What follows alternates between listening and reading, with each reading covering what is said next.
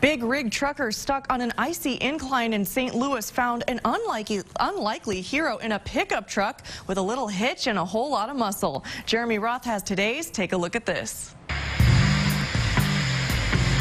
Winter weather was no match for a powerful pickup truck in Missouri. This is crazy. A man used it to help pull multiple 18-wheelers up an icy hill on a St. Louis highway.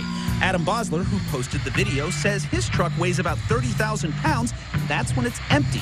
Bosler credits the Good Samaritan with helping get him home to his family, and the eye-opening show of muscle left a lasting impression on him. I'm never going to talk on Chevy ever again. Bosler later apologized for his language, telling CNN he never expected the video to go viral. Watch this Florida man deal with a boa constrictor he found under his SUV's hood. It's right there. It's right there. Oh my God, my God. No! Ernst Demange had just dropped his kids off when he popped his Cadillac's hood, and that's when he discovered the slithering surprise.